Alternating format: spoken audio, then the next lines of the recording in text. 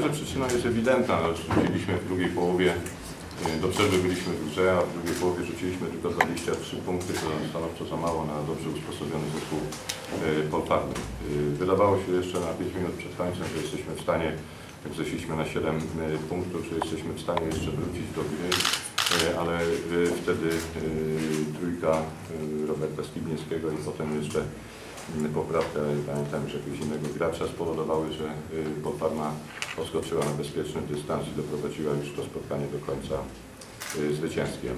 No nie ukrywam, że nam się y, ciężko gra w tej chwili, ponieważ y, ubytek y, dwóch graczy y, Kuba Dłoniak y, skręcił staż sztukowy, nie był do naszej dyspozycji. Ławka jest y, krótka, bo byliśmy w składzie 10-osobowym raptem.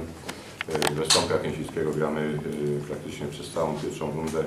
To strasznie y, uniemożliwia y, rotację i myślę, że ubytek sił ma tutaj na to, na to wpływ. Jeszcze gratulacje do moich zawodników, bo muszę powiedzieć to. E, dzisiaj zagrali naprawdę bardzo, bardzo dobry mecz. Po tym gratulacje trenerowi i, i zawodnikami zestawu, bo ja myślę, że był to bardzo, bardzo dobry mecz. E, dużo fajnego mogliśmy zobaczyć na tym meczu i podania i, i, i ceny rzutów.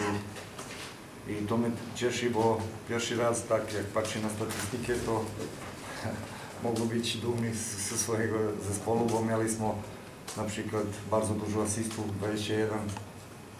Mieliśmy dużo, dużo zbirek w ataku, w obronie to samo.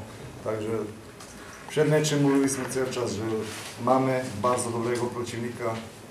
Z- Nic więcej nie zostaje niego rzucić wszystko na parkiet, serce, głowa, głowę i spróbować podać 100% siebie i wtedy może się uda wygrać.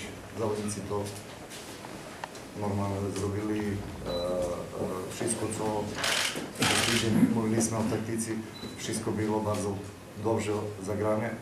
Kilka tam błędów było w pierwszej połowie i dlatego taki bio na, na styku, ale mówię jeszcze raz du- duże gratulacje do moich zawodników i powodzenia zespołu zostało w przyszłości. powiedzieć, trenerzy obrony powiedzieli wszystko chyba. Eee, szkoda, że przegraliśmy, na pewno walczyliśmy, natomiast zabrakło skuteczności chyba to było czynnikiem naszej porażki. Wiedzieliśmy, że to będzie ciężkie spotkanie. W sumie w tym, na, tą, na ten czas najważniejsze spotkanie w sezonie dla nas. Naprawdę chciałem podziękować wszystkim zawodnikom, że zagraliśmy naprawdę bardzo zespołowo, tak jak ten powiedział, świadczą o tym asysty. No i wszystkim kibicom życzę wesołych świąt. To było ostatnie, ostatnie spotkanie tutaj e, w tym roku. Do zobaczenia za rok. Zapraszamy Państwa do zadawania pytań.